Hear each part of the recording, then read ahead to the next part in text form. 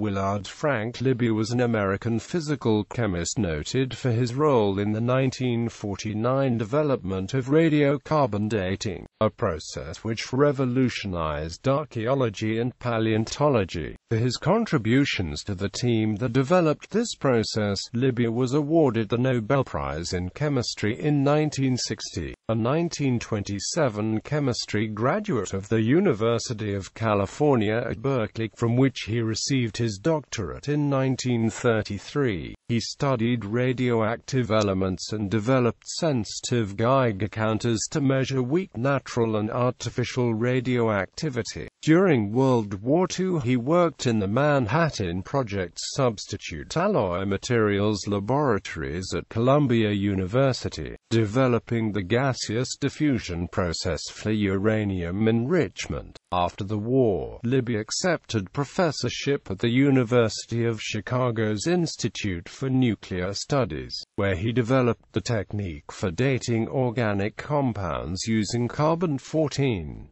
He also discovered that tritium similarly could be used for dating water, and therefore wine. In 1950, he became a member of the General Advisory Committee of the Atomic Energy Commission. He was appointed a commissioner in 1954, becoming its sole scientist. He sided with Edward Teller on pursuing a crash program to develop the hydrogen bomb, participated in the Atoms for Peace program, and defended the administration's atmospheric nuclear testing. Libby resigned from the AEC in 1959 to become professor of chemistry at University of California, Los Angeles, a position he held until his retirement in 1976.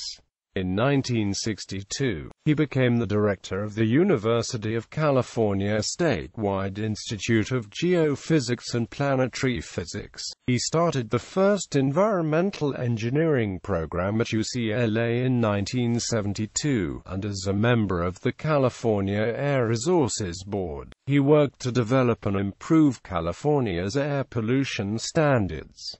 Early life and career Willard Frank Libby was born in Grand Valley, Colorado, on December 17, 1908, the son of farmers Zora Edward Libby and his wife Eva May. He had two brothers, Elmer and Raymond, and two sisters, Eva and Evelyn.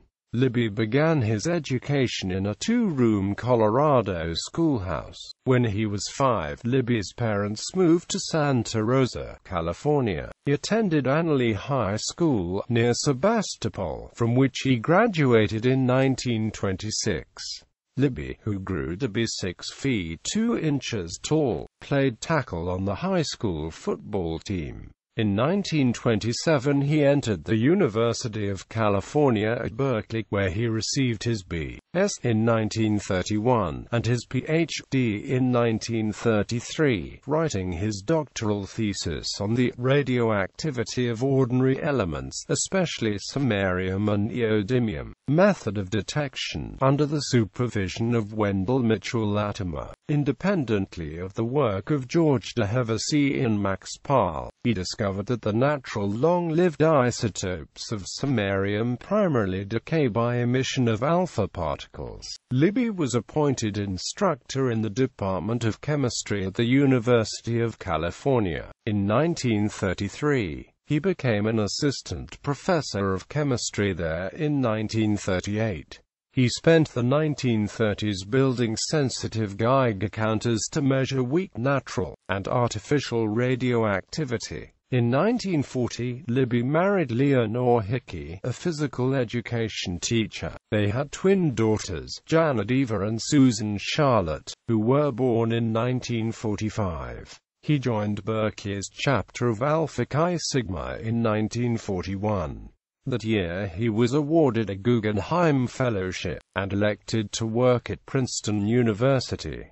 Manhattan Project on December 8, 1941, the day after the Japanese attack on Pearl Harbor brought the United States into World War II, Libby volunteered his services to Nobel Prize laureate Harold Urey. Urey arranged for Libby to be given leave from the University of California and to join him at Columbia University to work on the Manhattan Project. The wartime project to develop atomic bombs at what became its substitute Alloy Materials Laboratories. During his time in the New York City area, Libby was a resident of Leonia, New Jersey. Over the next three years, Libby worked on the gaseous diffusion process for uranium enrichment. An atomic bomb required fissile material, and the fissile uranium-235 made up only 0.7% of natural uranium. The SAM laboratories therefore had to find a way of separating kilograms of it from the more abundant uranium-238.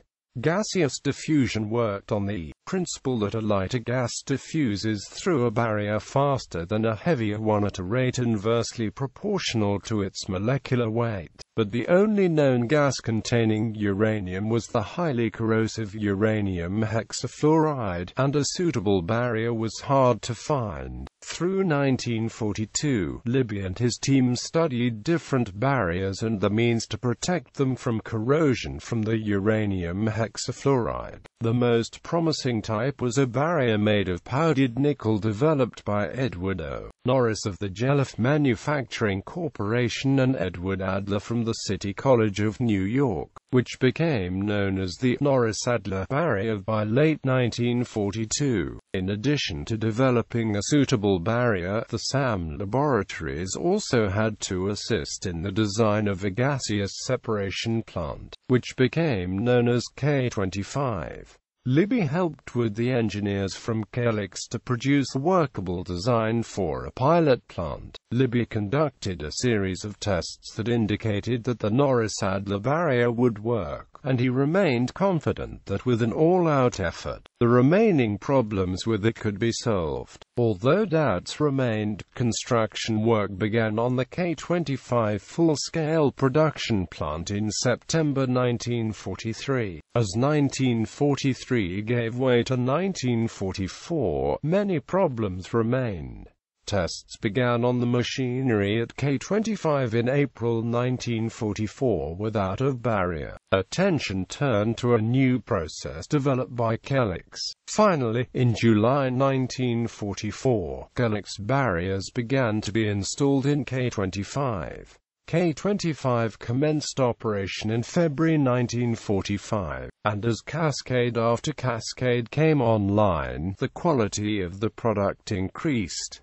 By April 1945, K25 had attained a 1.1% enrichment. Uranium, partially enriched in K25 was fed into the calutrons at Y12 to complete the enrichment process. Construction of the upper stages of the K25 plant was cancelled, and Kellex was directed to instead design and build a 540-stage side feed unit, which became known as K25. 27.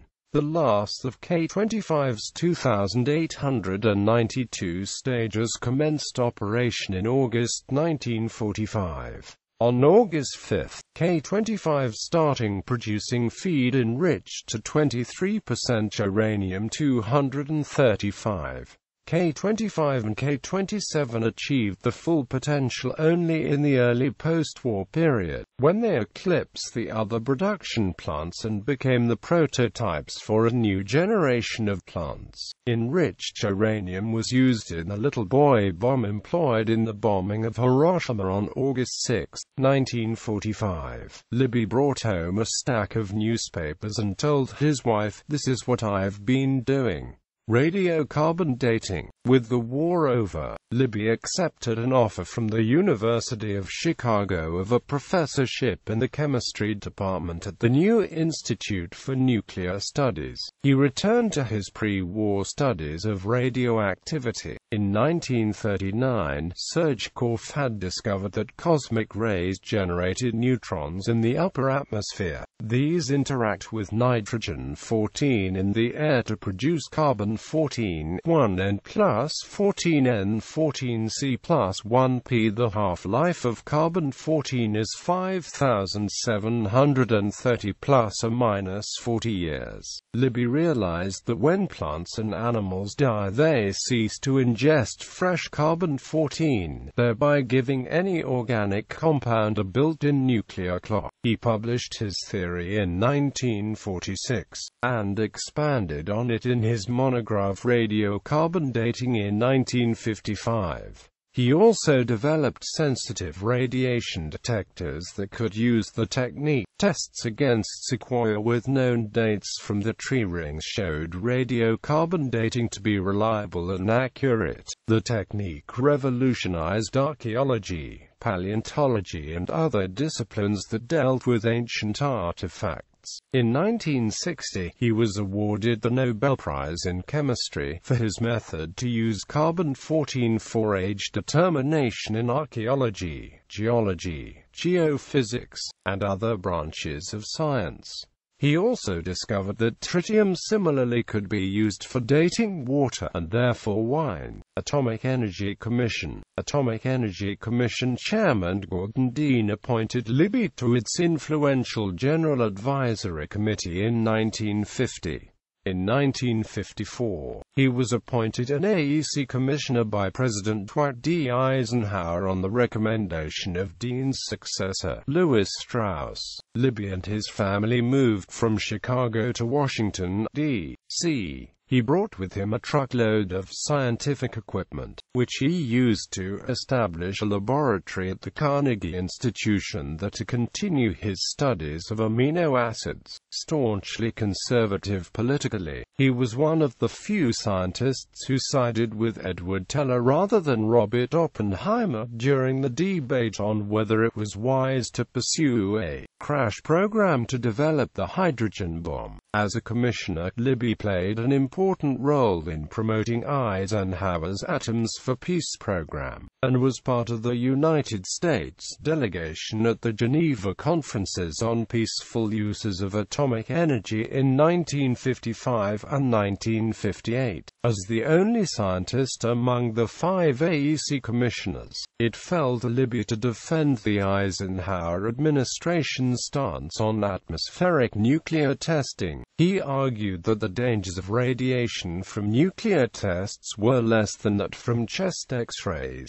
and therefore less important than the risk of having an inadequate nuclear arsenal. But his arguments failed to convince the scientific community or reassure the public. In January 1956, he publicly revealed the existence of Project Sunshine, a series of research studies to ascertain the impact of radioactive fallout on the world's population that he had initiated in 1953 while serving on the GAC. By 1958, even Libby and Teller were supporting limits on atmospheric nuclear testing. UCLA. Libby resigned from the AEC in 1959. He became professor of chemistry at University of California, Los Angeles, a position he held until his retirement in 1976.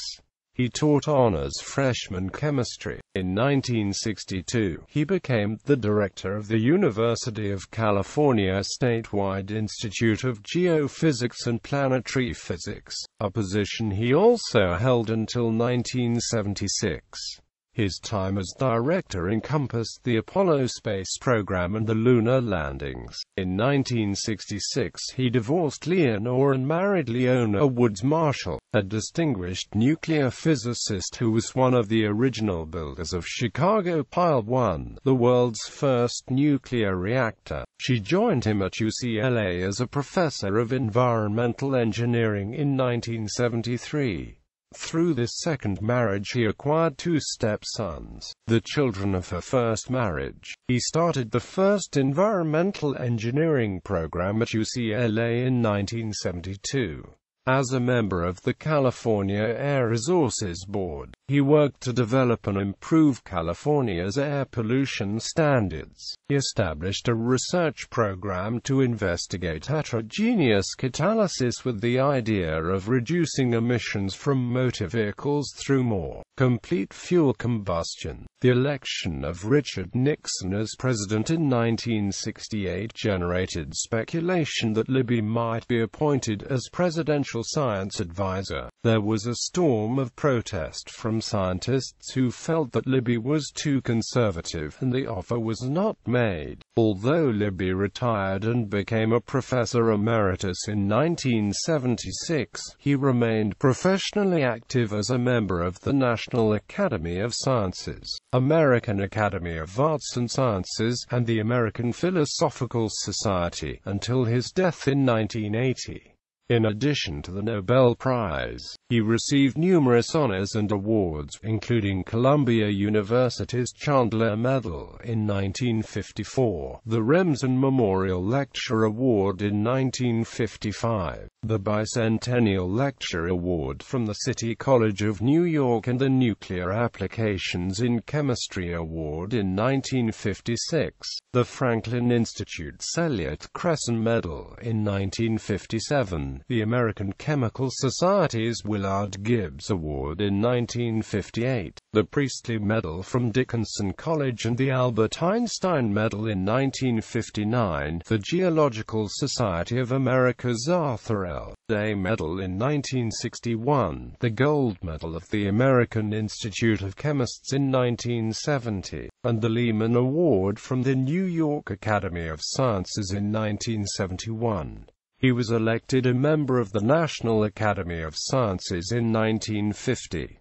Analy High School Library has a mural of Libby, and a Sebastopol City Park and a nearby highway are named in his honor. Libby died at the UCLA Medical Center in Los Angeles on September 8, 1980, from a blood clot in his lung complicated by pneumonia. His papers are in the Charles E. Young Research Library at the UCLA. Seven volumes of his papers were edited by Leona and Rainer Berger and published in 1981. Bibliography Arnold, J.R. and W. F. Libby. Radiocarbon from piled graphite Chemical methods for its concentrations. Argonne National Laboratory. United States Department of Energy. W. F. Libby. Atmospheric helium-3 and radiocarbon from cosmic radiation. Physical Review. 69, 671 to 672.